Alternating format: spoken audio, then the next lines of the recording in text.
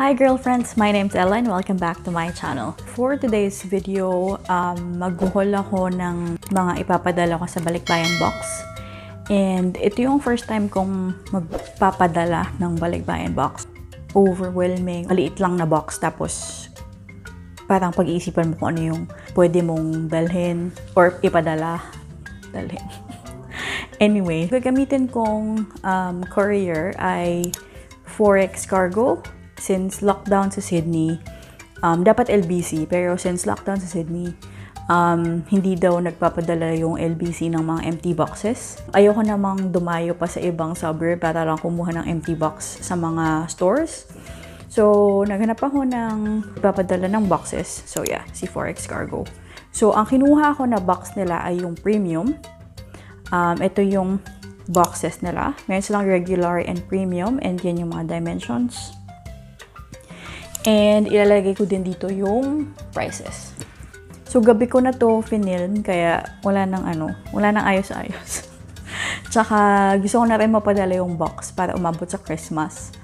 And then background lang kaya ko rin naisip na magpadala ng balikbayan box dahil um, two years na rin ako hindi nakakauwi ng Pilipinas. So alam mo yun, Christmas box something. Yan. So, siguro pagka-upload ko nito, sana sa... Kasi matagal ako mag-upload recently dahil busy sa work. Um, sana pag-upload ko nito, dumating na sa Pinas. So, di ba? Walang ano. Walang spoiler. Di ba?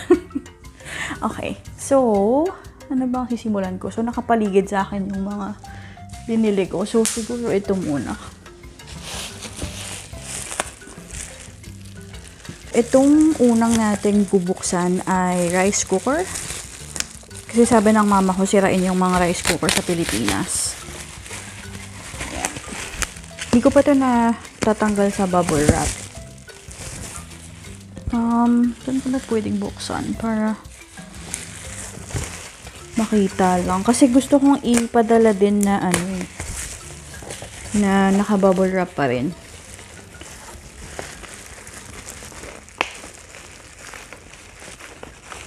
Mga ayoko sirain.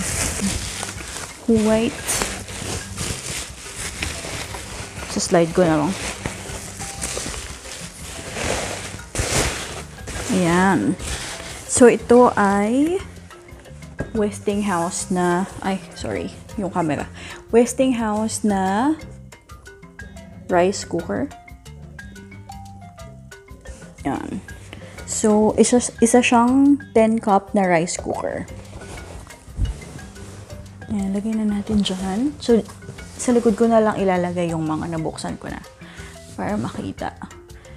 So, yun. Kasi sabi ng uh, mama ko, yung mga binibili nilang rice cooker, ano, lagi nasisira. So, alam mo yun. Isa rin kasi na dahilan na magpapadala ako ng mga stuff galing dito.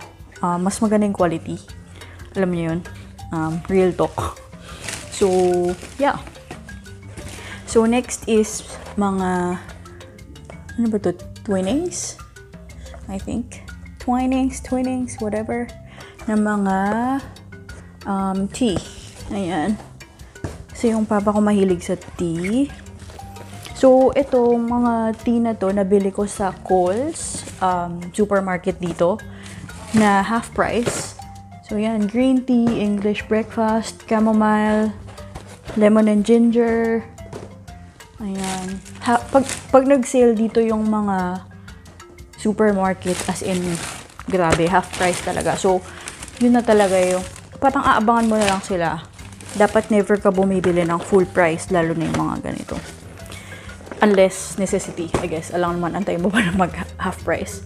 So, next is ito, biscuits na shapes. Ayan uh, apat na shapes. So, iba-ibang flavor, original, cheese, tsaka... What is this? Ah, pizza pala to. Pizza. Yan. So, lalo na yung mga food, chinek ko yung mga dates na minake sure ko next year pa sila mag-expire or yung mga best before dates next year pa. Lagyan na natin yung mga plastic dito daming plastic. Anyway, So, next is mga muesli bars for snacks. Merong white choc chip. What is this? Strawberry honeycomb choc chip. Okay. Now, the next, um, Coles box. So, ang dami kong napamili sa Coles kasi sakto nag-half price yung mga um, gusto kong ipadala. So, ito, mga Dove bars. Saan yung harap? Ayan. So, nag-half price ba to nung binili ko? Parang, or mura, feeling ko mas mura sa, kaysa sa Pinas. And meron din akong mga Coles na cookies. Sobrang sarap. Sobrang sarap nito. Oh my gosh. Feeling ko magugustuhan ito ng kapatid ko. What else? So, unahin ko na yung mga food. Siguro. Actually, hindi ko pa nga alam kung paano ko to lahat pagsasama-samahin sa box. Sana magkasya. Kasi sayang naman pag may naiwan. Um, rolled oats and quick oats. So, meron akong dalawang quick oats tsaka rolled oats kasi hashtag healthy living. Pure honey. Meron akong dalawang 1 kilo. Oh, laki pala nito. So, si Forex Cargo, hindi naman sila nagsabi kung may limit sila sa pagpapadala, as in yung weight. Kaya gora lang ako sa pag papamili since wala naman silang sinabing limit, weight limit. Ay, ito, meron pala ako sa gilid mga tuna. Ito, ibang brand ng tuna. Yung Sirena. Hindi ko alam kung tama yung pag-pronounce ko, pero yan nyo na. And then, ito, mga lint chocolate. Ito, naka half price, kaya, eh, that, ay, li, da, dalawang lint, tsaka Gillian. Ayan. Mga na, naka half price to eh. Nung, nung binili ko. Kasama sa mga food is, ito, Cadbury. Ay, isa lang pala yung binili ko na ganyan. Tapos, Nescafe. Kala mo walang kape sa Pilipinas. Tapos, uh, ground coffee na Victoria. Yeah, Victoria. Masarap to eh. Ito usually yung mga ginagamit ng mga coffee shops dito, I think. Starbucks na ground coffee din. Kasi sabi, sabi ng nanay ko tsaka ng kapatid ko, mahal daw yung ground coffee sa Pilipinas. So, naka half price din to mga Cadbury na chocolate. So, meron akong 1, 2, 3, 5, 7, 10. Okay, 10 pala. Para even number, di ba? Ayan, so medyo inayos ko na sila sa likod ng unti. Um, next is instant noodles na Indomie. Indomie? Na mga may goreng na ano. Uso to dito eh. Mga kadalasan ko yung pinapadala ng lola ko sa, galing sa South Australia. Ayun, masarap naman. Um, mura lang ata yan. Mura lang yan dito eh. $3, $3 ata to per pack. So, per item, hindi ko na masasabi kung magkano isa-isa. Pero i-compute ko na lang yung mga resibo ng mga napamili ko. Tapos, um, iaano ko sa inyo. Papakita ko sa inyo. So, ito, more tuna. More, more tuna. Kasi, healthy living. Tsaka kasi, hindi ka naman pwede magpadala ng fresh na food or yung mga madaling masira kasi magta-travel pa sila. Um, yung pinili ko, Sea Cargo. So, dadating siya sa Pilipinas mga 6 weeks.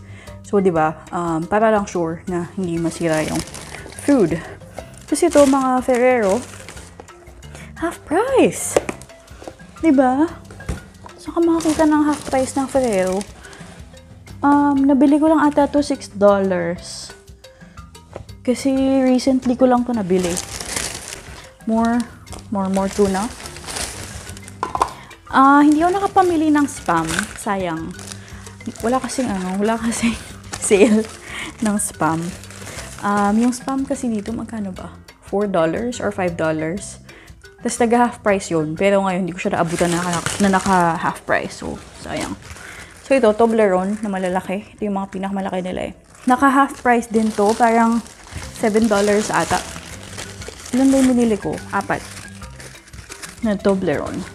So, yun na lahat yung food. Dito naman tayo sa vitamins, mga medicine, ganyan. Itong next na bubuksan ko ay from Chemist Warehouse. So, meron akong collagen. Mamaya ko na nga, mamaya ko na nga ayusin. Ba yan? Effort. Uh, multivitamins. Uh, this is 200 tablets per container. May mga binili ako na para sa akin. Hindi ko na alam kung ano. Um, popo na 5. 5 na tag 25 grams. Ewan ko, hindi naman ata masyado silang mahilig dyan. And then, itong Veroca na 60 tablets. Yung malaki nilang box. Kasi mas mura siya actually dito compared sa Pilipinas. Olay Total Effects. Uh, ito sa akin to. Ito ay Ensure. Wait, ano ba? Ay, grabe yung pagkabalot. Mababasagin ba to? Ayan, Ensure. Ayan, para sa mga nakakatanda. Ito, Ensure din to. Di ko natatanggalin sa balot kasi sayang. What is this? Cetaphil. Ay, yan. Ayos. Naka scotch tape na siya. So, well, siguro dodoblehin ko pa. Kasi medyo um, manipis ang pagka-scotch tape sa kanya. Cetaphil and lotion ata to. Yeah. Aveeno lotion. To. Yan. Maganda tong Aveeno. So, Munti ko na makalimutan, bumili din ako ng wok. So, malaking kawali. Ito. Tinanggal ko siya sa box eh. Dahil, um, masyadong malaki yung box. So, ito siya. Kaya naka-plastic pa. Hirap na hirap lang, di ba? Ito, glass yung lid niya. Ang laki kasi ng box. Mas, mas mahaba pa dun sa Forex cargo na box. So, tinanggal ko siya. Pero, um, yung cardboard na nasa pagitan ng lid tsaka ng kawali, ilalagay ko para secure siya sa box. So, itong wok, sa ano ko to binili? What's Cooking. Pati yung um, rice cooker. So, ano siya dito? Kitchenware na store. Na parang mang, parang outlet store ng mga kitchenware. Kasi, nag-ano sila eh, parang 60% off, 50% off, ganyan. So, sulit. Ilalagay ko dito yung mga price ng mga napamili ko. Meron dyan Kohl's, syempre, Chemist Warehouse, What's Cooking. Ang pinaka napamahal ako yung What's Cooking tsaka Chemist Warehouse. Syempre, What's Cooking yung rice cooker tsaka yung wok. Tapos, Chemist Warehouse yung mga gamot, vitamins, yung Ensure. So, yeah, medyo mahal. Pag Kohl, sa Kohl's kasi yung iba half price. So, yun, nakamura tayo dun. I think medyo mahal yung balikbayan box na to and hindi ko pa alam kung magkakasya sa box. Papakita ko yung box mamaya. Although, okay lang naman kahit napamahal kasi minsan lang naman, again, two years na ako hindi nakakauwi. So, alam mo yun. And yung ano ko kasi parang language of love ay gifts. So, mapag, mabigay ako ng gifts. Sa four years ko dito sa Sydney, ilang beses na ako sinasabihan ng nanay ko na mag, ano, magbalik bayan box din ako. Para lang yung, alam niyo naman mga Pilipino, yung may feeling lang na um, bubukas ng box tapos galing ibang bansa na mga goods. So, yeah. Siguro may magsasabi na ba't hindi na lang pera yung pinadala mo? Kasi ganun din. Um, nababalitaan kung pamahal ng pamahal yung mga bilihin sa Pilipinas na hindi ko maintindihan kung bakit parang masarap din yung feeling na um, pinaghirapan mo yung mga pinamili mo, pinili mo sila ng personal, tapos ipapackaging mo sila ng ikaw lang, tapos dadating sa loved ones mo. Kaya siguro maraming Pilipino na nagpapadala ng balikbayan box. At saka yun din, quality ng goods sa Australia. So, yeah nabasa ko dun sa form ng Forex Cargo na okay lang yung mga grocery items, yung mga gantong goods, as long as hindi siya dadami ng up to 12 units or 12 pieces. Kasi parang commercial, ano na yun, commercial quantity. Parang ano, magbibenta ka ba? so, yeah. So, pakita ko lang sa inyo kung gaano kalaki yung box. Ayan. Ayan ang chair for comparison. So, medyo maliit lang siya Mas maliit siya kaysa sa LBC na box kahit premium na siya. Um, and kung tutuusin, same price with LBC.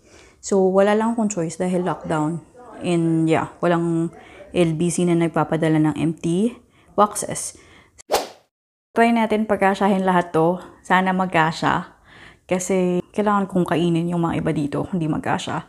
Or yan, pipili ka kung ano yung mga di, di mo ipapadala. So, let's go.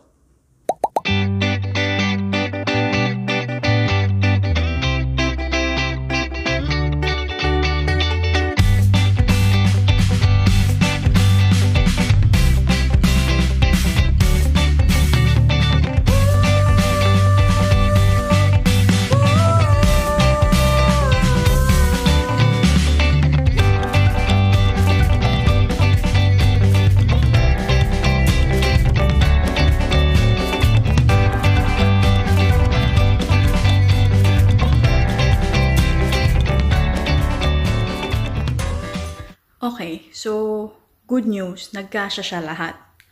Bad news, dami pang space. So, hindi mo naman siya ipapadala na walang space. So, mamimili pa tayo. Yun, nakita niyo naman sa Hyperlapse, ang dami pang space. So, may mga ipapadala pa akong gamit, like mga bags, damit na hindi ko ginagamit dito. So, papadala ko na lang. And siguro mamimili pa ako ng groceries para sulit. I-shoot ko yun pag napamili ko na sila lahat. Akala ko talaga hindi sila magkakasya kasi parang ang daming plastic at saka maliit yung box. Pero kapag siniksik mo sila, siniksik ko sila in a way na hindi sila gagalaw-galaw. Alam mo yun? Wait, papakita ko. Ayan, kung mapapansin nyo, siniksik ko yung mga maliliit na items para hindi naman gumalaw-galaw. Pag in transit siya, um, hindi sila magbubungguan or walang space na pagbabagsakan yung mga items secure lang. Nilagyan ko ng scotch tape na doble yung mga lotion, ganyan, yung Cetaphil. Yan, dami pang space. Ito medyo, ano na, malapit na. Pero yung ibang sides, ang dami pa. Mal okay din pala to. Mal marami ka na rin gastos. sa maliit na box na to. Totoo nga yung mga nabasa ko sa comments na mas okay yung maliit na box kasi mas unti yung mapapamili mo. Kasi, mas unti yung space na kailangan mong punuin. So, mamimili pa tayo. Papakita ko na lang sa inyo pag napamili ko na and napuno ko na yung box. Okay. Hi, girlfriends! So, this is a continuation video ng pagpapak ng balikbayan box. Kung naaalala nyo, well, malamang naalala nyo kasi kanina nyo lang napanood.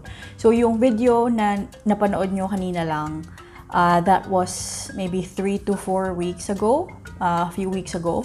And nung una ko ang inattempt na ipack yung mga papadala ko, uh, marami pang space. So, namili ulit ako ng mga uh, grocery items. So, i-haul ko lang siya ngayon bago ko i-try na punuin yung balikbayan box. So, bago tong haul na to, nabook ko na yung um, pag-pick up ng balikbayan box. So, madali lang siya. Online lang sa Forex Cargo. Nag sign up lang ako ng account sa, kasi kailangan mo ng account sa pagpapa-drop off ng empty box. Tapos, syempre, same account lang dun sa pagpapa-book mo ng um, pickup. Uh, hindi ko sure kung ano yung mas madaling way, um, LBC versus yung Forex Cargo kasi first time ko magbalik bayan box and na taon lang na pandemic tas walang pag-drop off ng empty boxes yung LBC. So, Forex Cargo yung una ko na-try. So far, sobrang smooth naman yung transaction and mabilis sila and very communicative. And, well, I think i-recommend ko sila. Um, maayos yung box. Siguro, ang cons lang ay mas maliit siya sa box ng LBC. So, medyo mas mahal na onte tapos mas maliit na box yung uh, makukuha mo. Pero bago ako nag-book ng Forex Cargo, nag-post ako sa isang FB group ng mga Pinoy in Sydney, Australia. And so far, okay naman yung feedback nila sa Forex Cargo. So yeah, ita-try natin siya ngayon. Nag-book na ako. Kapag in-enter mo yung suburb mo dun sa website nila, ibibigay nila sa iyo yung schedule ng suburb mo. So, every suburb meron atang day na kung saan pumupunta sila dun sa area na yun. So, for our suburb, every Tuesday sila nagpupunta. So, sisimulan ko na yung pag-haul dun sa last bag. And lastly, last bag na to. So, ito siya. Um, Coles siya ulit. Medyo mabigat. Nakalimutan ko na actually yung mga pinagdadampot ko. Pero marami akong chocolate na nakita naka-sale sa Coles nung huli ako nagpunta. So, muna ay spam. Ito, dalawang regular na spam. Dapat hindi ako bibili ng spam kasi preservatives. Tsaka ano, hindi siya nagsisale. Di ko alam kung bakit. Last minute na pabili ako ng apat. So, dalawang regular, dalawang uh, light. So, yan. Lagyan natin siya dito. Sana hindi matumba. And then, marami ako napamiling chocolates. Kasi itong mga um, chocolates na to, tagwa $1 sila sa Kohl's. So, dumampot na ako ng marami, di ba? Uh, bale yung $1 half price na yun. So, normally $2 yung mga ganito, kalaki. Yan, assorted siya. Um, Mars, Milky Way, Toblerone. Ano pa ba yung mga nandito? So, marami ako nadampot.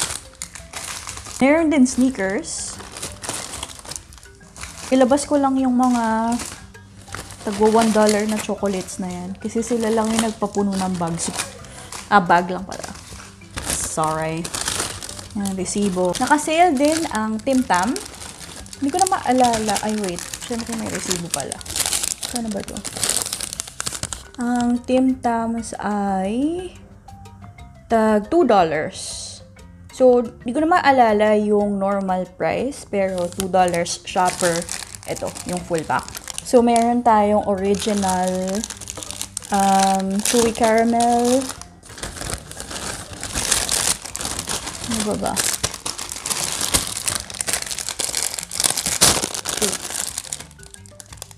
Salted caramel. Nako. Pampataba. Pang pampataba yung mga binili ko.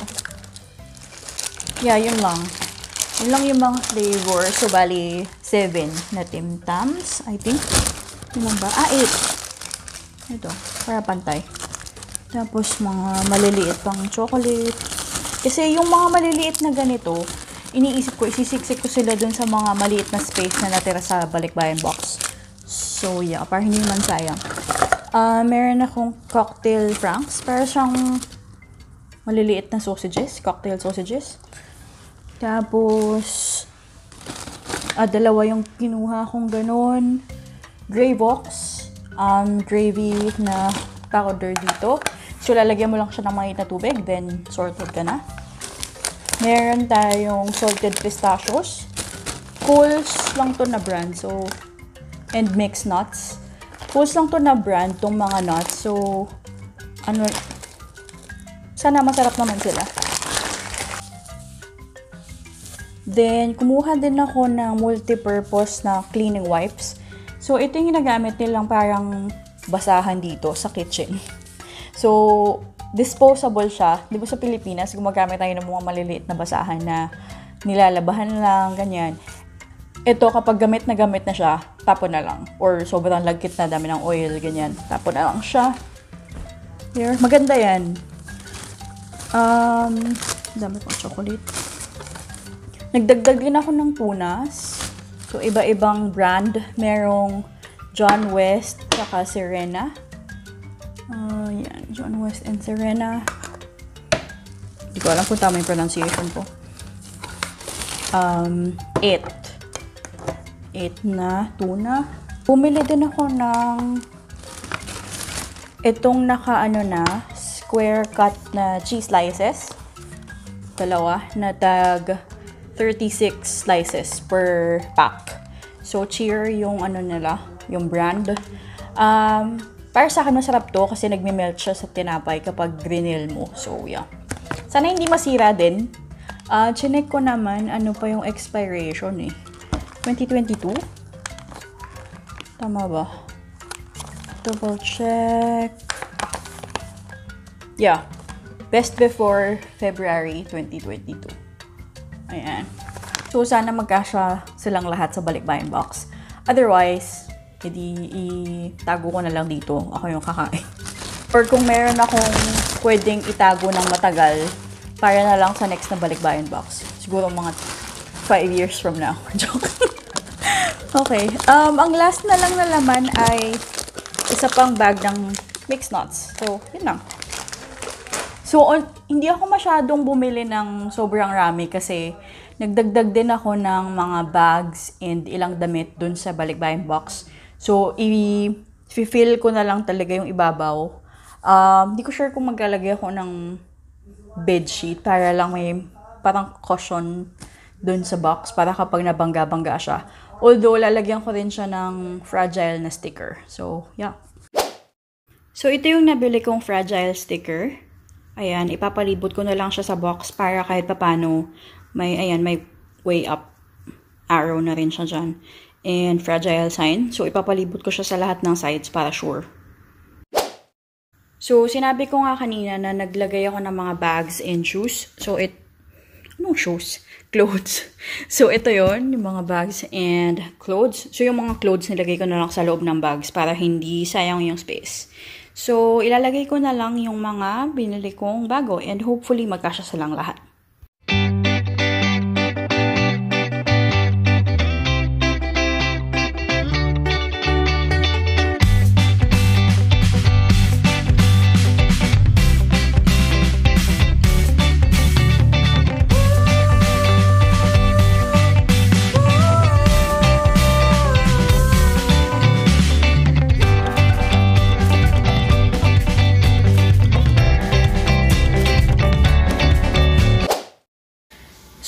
Obvious na obvious talaga na first time ko kasi may epic fail na naman. Papakita ko sa inyo. Nilagyan ko na to ng tape. So, hindi ko na siya masusulatan ng from. Tsaka to, yung to. Tinape-tape ko na. Naubusan pa nga ako ng tape eh. So, bibili pa ako ng bago.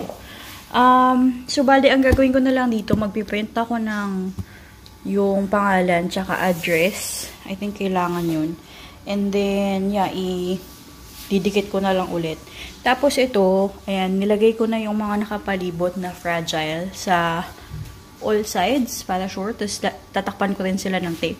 Although, ano na siya eh, waterproof na siya. So, okay na yan. Um, papalibutan ko pa ng tape yung buong box para medyo may waterproof effect siya. Pagpasensyahan nyo ng pangit yung pagkakatape ko. Again, first timer. Tapos, bumili din nga pala ako nito na parang platform na trolley or dolly yung tawag nila dito. Um, so, ilalag, ipapatong ko dyan yung box since nakatira kami sa apartment para hindi mahirap ibaba. So, lalagay mo lang siya dyan, tapos papagulungin mo. Pero hindi ko pa siya lalagay sa trolley ngayon kasi ilalagay ko pa yung mga pangalan, tsaka address, tsaka ipapalibutan ko pa ng maraming tape tapos, yun, tsaka ko siya lalagay pag malapit na dun sa day ng pickup. Kasi hindi square yung shape nung trolley or nung dolly. Kaya baka ma-deform lang yung box. So, yeah. Pag ano na lang. Pag same day, siguro kasi sabi ko dun sa Forex Cargo, um, last na lang i-pick up yung box ko para, ano, para ensure na may tao. Kasi, magli-lift na yung lockdown dito. Kaya, uh, papasok na ulit, na ulit sa office So, yun. Kailangan habulin yung time na pipick upin yung box. Yun din nga pala yung isang positive na side sa Forex Cargo. Um, ano sila, very responsive. So, nag-email lang ako. Kasi initially, may binigay na window dun sa booking ko kung kailan, kung anong oras i-pick up yung box dun sa day na yon. So, nag-email ako na kung pwedeng ako yung last para sure na andito na ako. So, yeah, okay naman. Pumayag naman sila. And binigay nila yung roughly na time na um, dadating dito yung magpipick up. So, yeah. Um, bigyan ko kayo ng next update kapag all sorted na. And may fill out pa ako na form din. So, ito yung set of forms na kailangan ko fill upan para sa um, box na to. So, isa lang ata yung pipick up mo. Tap, ay, yung isa lang ata yung susulatan mo tapos maano na siya makakopy na siya kasi may pink na sheet. Tapos, ito yung mga rules nila, yung mga guidelines nila sa pagpapackage, yung mga pwede at hindi pwede. So, ayan, dito ko nakuha yung pwede yung mga grocery items as long as non-commercial quantities, which is a dozen or 12 items. And then sabi, please pack well, especially fragile items. So, naglagay ako ng bubble wrap sa mga um, items na mababasagin or feeling ko madaling ma-deform. And then, do not overpack. So, ayan, sabi nila. Para, para rin siguro hindi siya ma-damage yung mga items na ilalagay mo, syempre. Tapos, ayan, yung mga, yung mga limitation of liability, reminders, nalagay yung complete address, and may delivery photo sila pag natanggap na sa Pilipinas. Um, yan, correct full name. Make sure the box is ready before pickup, and then view next shipping schedule online. So, yeah. Very detailed yung sheet na to. So, yan. Yan yung number nila and website. Hi, girlfriends! So, update lang. Kakauwi ko lang and malapit na i-pick up yung box.